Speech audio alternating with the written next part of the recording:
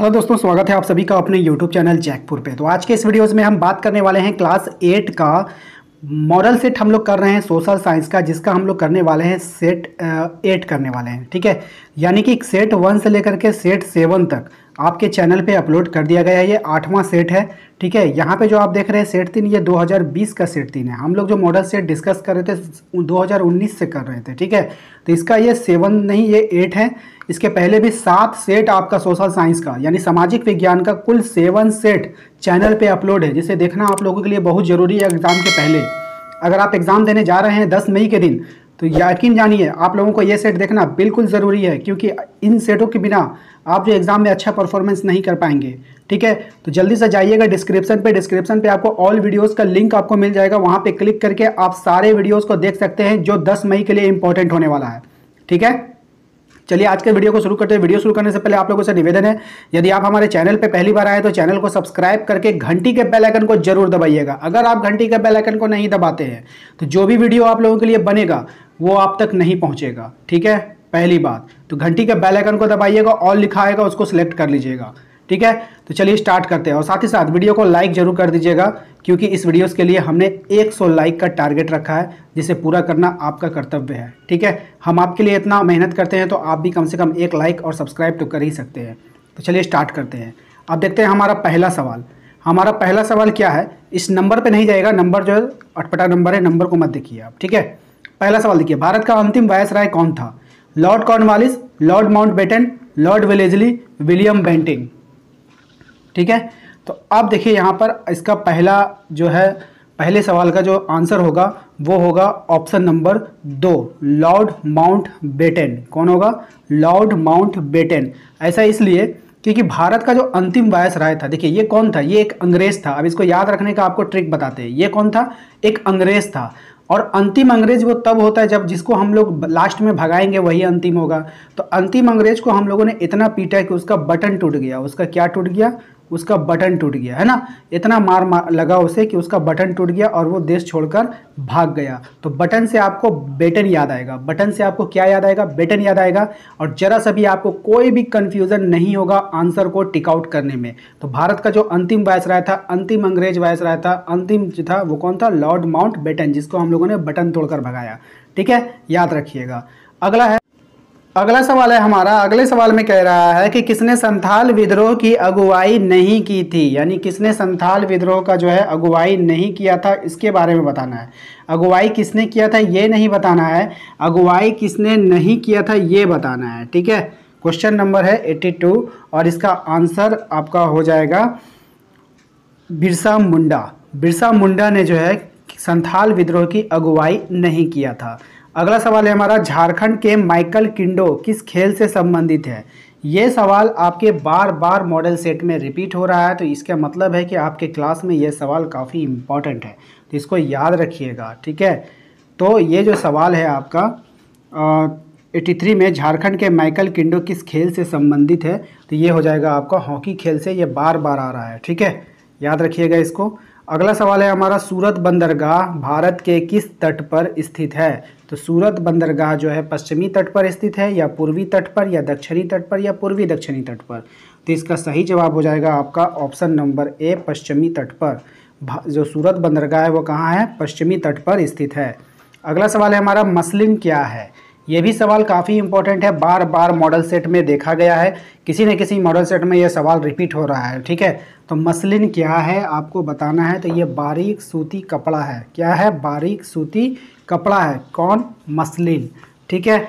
अगला सवाल है हमारा, पुर्तगाली भारत के किस स्थान पर आए थे? मद्रास में आए थे, सूरत में आए थे, कालीकट में आए थे या कलकत्ता में आए थे? तो इसका सही जवाब हो जाएगा आपका ऑप्शन नंबर तीन। कालीकट में आए थे। कहाँ आए थे? कालीकट में आए थे पुर्तगाल, ठीक है? अगला सवाल है हमारा 87 ईस्ट इंडिया कंपनी को बंगाल की दीवानी कब मिली? तो ईस्ट इंडिया कंपनी को बंगाल की दीवानी कब मिली?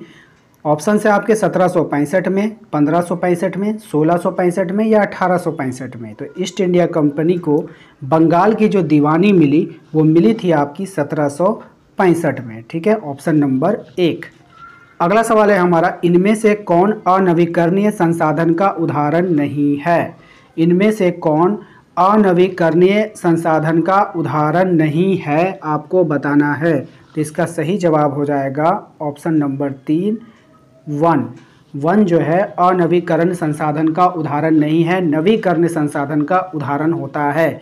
ठीक है? और इसको समझने के लिए हमने आपको बताया था कि नवीकरण संसाधन वे होते हैं जिनका हम उपयोग बार बार कर सकते हैं और अनवीकरणीय संसाधन ऐसे होते हैं जिनका उपयोग भविष्य में एक बार इस्तेमाल कर लेने पे दोबारा नहीं कर सकते हैं। अगला सवाल है हमारा, जल ग्रह किसे कहा जाता है? ये भी सवाल आपके बार बार रिपीट हो रहा है तो आप लोग याद रखिएगा, ये जो जल ग्रह है, हमारी पृथ्वी को कहा जाता है, क्योंकि यहाँ पर टोटल जो है सेवेंटी वन परसेंट, यानी तीन कोना जो है जल पाया जाता है। पृथ्वी के तीन कोना हिस्से पे क्या है? जल है और एक एक कोने हिस्से पे हम लोग रहते हैं। ठीक है? अगला सवाल है हमारा, निम्नलिखित में से कृत्रिम रेशा का उदाहरण क्या है? तो ये भी सवाल बार बार रिपीट हो रहा है, आप लोगों को ध्यान में रखना है। कौन सा है? ऊन है या नायलोन है, रेशम है या कपास है? तो कृत्रिम रेशा का जो उदाहरण है, वो है हमारा नायलोन, ऑप्शन नंबर दो। ऑप्शन नंबर दो, इसका बिल्कुल सही जवाब है। अगला सवाल है हमारा क्वेश्चन नंबर नाइन्टी वन धात्विक खनिज पाई जाती है। धात्विक खनिज जो है वो कहाँ पाई जाती है, आपको बताना है तो इसका सही जवाब क्या होगा? आग्नेय एवं कांतरिक चट्टान में, या फिर परतदार चट्टान में, या फिर अवसादी चट्टान में, या फिर उपरोक्त में से सभी? तो इसका सही जवाब क्या हो जाएगा? इसका सही जवाब हो जाएगा आपका ऑप्शन नंबर एक, आग्नेय एवं कांतरिक चट्टानों में। अगला सवाल है हमारा, निम्नलिखित में से कौन स्थानिक संसाधन नहीं है? निम्नलिखित में से कौन स्थानिक संसाधन नहीं है? आपके ऑप्शन हैं लोहा अब्रक मैग्नीज या फिर जल। स्थानिक संसाधन का मतलब आप समझ लीजिए, यहाँ पे आपको कह रहा है कि वैसा संसाधन जो एक जगह पे पाया जाता है इधर उधर वो भागेगा नहीं। अगर इस जगह पे पाया जा रहा है, झारखंड में तो यह झारखंड में रहेगा, बिहार में तो यह बिहार में रहेगा, बंगाल में तो यह बंगाल में रहेगा, ठीक है? रांची में पाया जा रहा है तो रांची में रहेगा ये घसक करके धनबाद नहीं चला जाएगा, ठीक है? तो वैसे संसाधन। तो कौन नहीं है, ये बताना है। अब देखिए, लोहा लोहा एक जगह से दूसरा जगह नहीं भागेगा, अबरक नहीं भागेगा, मैग्नीज नहीं भागेगा, लेकिन जल भाग जाता है है ना? तो ये इसका नहीं है में क्या हो जाएगा? आपका ऑप्शन नंबर डी हो जाएगा, यानी ऑप्शन नंबर चार हो जाएगा, जल हो जाएगा। अगला सवाल है हमारा, किसे उद्योग का मेरुदंड कहा जाता है? किसी किसे उद्योग का मेरुदंड कहते हैं? ठीक है? आपके ऑप्शंस हैं, कोयला, एल्युमिनियम, तांबा या लोह इस्पात। तो इसका सही जवाब हो जाएगा आपका लौह इस्पात, किसे उद्योग का मेरुदंड कहते हैं? मेरुदंड किसको बोलते हैं? मेरुदंड जो हम लोग के शरीर की हड्डी में पीछे साइड जो रहता है, वो मेरुदंड होता है वहाँ पे, और वो क्या होता है? हमें एकदम सीधा खड़ा रखने में सहायता करता है।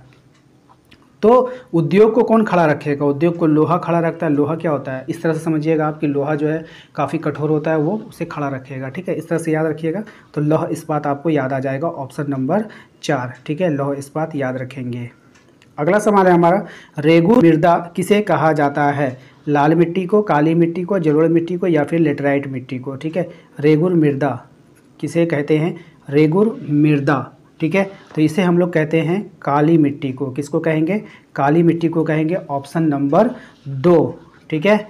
अगला सवाल है, हमारा मानव अधिकार दिवस हर वर्ष किस तिथि को मनाते हैं? 10 दिसंबर को 10 अक्टूबर को 10 नवंबर को 10 सितंबर को? ये भी सवाल आपका बार बार रिपीट कर रहा है तो ये भी आपका इंपॉर्टेंट रहेगा। देख लीजिएगा 10 दिसंबर को, ठीक है? अगला सवाल है, हमारा स्वच्छ भारत अभियान भारत सरकार द्वारा कब आरंभ किया गया था? ये भी सवाल आपका बार बार रिपीट कर रहा है तो ये भी आपका वी कैटेगरी में आता है तो इसका सही जवाब आपको बताना है। तो इसका सही जवाब हो जाएगा आपका दो अक्टूबर दो हज़ार चौदह को। दो अक्टूबर 2014 को, ठीक है? अच्छा इसको याद कैसे रखेंगे? इसको देखते के साथ आपको एक बहुत अच्छा सा ट्रिक याद आएगा। देखिए, दो दो, चार, दो दो, चार, दो हज़ार दो अक्टूबर 2014 को याद रखने का ट्रिक देख लीजिए। दो अक्टूबर है, अक्टूबर को आप छोड़ दीजिए। दो अक्टूबर 2014 दो अक्टूबर 2014 चलिए इसको याद कराते हैं आपको किस तरह से। दो दो, चार, दो दो, चार। ठीक है? ये आपका ट्रिक हो गया। आप इससे ऑप्शन से छांट सकते हैं। उच्च न्यायालय उच्च न्यायालय में न्यायाधीशों को कौन पदमुक्त करता है? उच्च न्यायालय में न्यायाधीशों को कौन पदमुक्त करता है? इसका सहाय पदमुक्त। अब यहाँ पे समझिएगा। ये जॉब नहीं दे रहा है। ये जॉब से हटा रहा है। ठीक है? तो प्रधानमंत्री, उच्चतम न्यायालय या महाभियोग की प्रक्रिया राज्यपाल। तो जो न्यायाधीश होते हैं ना, उच्चतम न्यायालय के जो जज होते हैं, उसको कोई भी नहीं हटा सकता। ये प्रधानमंत्री भी नहीं हटा सकेगा, ठीक है? उच्चतम न्यायालय खुद नहीं हटा सकेगा, राज्यपाल भी नहीं हटा सकेगा। तो क्या? तो एक उस पर महाभियोग की प्रक्रिया द्वारा उसे हटाया जा सकता है, ठीक है? अगला सवाल है हमारा, भारत में कौन सी संस्था कानून बनाती है? ठीक है? आपके ऑप्शंस है मंत्री परिषद, ठीक है? मंत्री परिषद, लोकसभा, राज्यसभा या संसद। तो देखिए, कानून बनाने का जो अधिकार होता है, वो संसद के पास होता है, ठीक है? इसको आप बढ़िया से याद रखिएगा। ये भी सवाल आपका बार बार रिपीट हो रहा है तो ये भी काफ़ी इंपॉर्टेंट होने वाला है आपके एग्ज़ाम के लिए। अगला सवाल है हमारा, स्वतंत्र भारत में प्रथम चुनाव कब कराए गए थे? ये सवाल भी वेरी वेरी इंपॉर्टेंट कैटेगरी में आता है। बहुत बार रिपीट हुआ है। अगर आप हमारे सभी वीडियोज़ को देख रहे होंगे तो आपको तो याद हो गया होगा, ठीक है? तो आपके ऑप्शंस हैं। 1950 में, ठीक है, उन्नीस सौ सैंतालीस में, उन्नीस सौ बावन में या उन्नीस सौ इक्यावन में? तो बताइए, आपको तो याद ही होगा। तो इसका सही जवाब आपका हो जाएगा ऑप्शन नंबर तीन। ऑप्शन नंबर तीन, उन्नीस में भारत में प्रथम चुनाव कराए गए थे। अगला सवाल और आखिरी सवाल है हमारा आज के इस वीडियोस का। भारतीय संविधान के प्रारूप समिति के अध्यक्ष कौन थे? आपके पास ऑप्शन है doctor Rajendra Prasad, Pandit Jawaharlal Nehru, doctor B R Ambedkar Lal Bahadur Shastri. तो इसका सही जवाब आपको बताना है। तो इसका सही जवाब हो जाएगा आपका ऑप्शन नंबर दो, डॉक्टर बी आर अंबेडकर तो उम्मीद करते हैं कि आपको आज का ये वीडियो अच्छा लगा होगा। वीडियो अच्छा लगा है तो एक लाइक कर दीजिएगा। लाइक करने से कोई भी पैसा आपका नहीं लगने वाला है, बल्कि हमें मोटिवेशन मिलती है आप लोगों के लिए वीडियोस बनाने की। तो एक लाइक कर दीजिएगा, चैनल पे सब्सक्राइब कर दीजिएगा, प्यारा सा कमेंट कर दीजिएगा, जिसका हमें आप जिसके आपके कमेंट का हमें बेसब्री से इंतज़ार रहता है तो एक प्यारा सा कमेंट करना बिल्कुल भी ना भूलें। एक कमेंट ज़रूर किया कीजिए, ठीक है? तो चलिए, मिलेंगे हम अपने अगले वीडियो में। यदि आप हमारे व्हाट्सअप ग्रुप के साथ टेलीग्राम ग्रुप के साथ जुड़ना चाहते हैं या इसका पीडीएफ लेना चाहते हैं तो इसका टेलीग्राम पे आपको उपलब्ध कराया जाएगा। तो आप लोग जो है टेलीग्राम चैनल को ज़रूर से ज़रूर ज्वाइन कर लीजिए, ठीक है? लिंक आपको डिस्क्रिप्सन में मिल जाएगा तो एक बार डिस्क्रिप्सन को ज़रूर चेक किया कीजिए। मिलेंगे अपने अगले वीडियो में। Thank you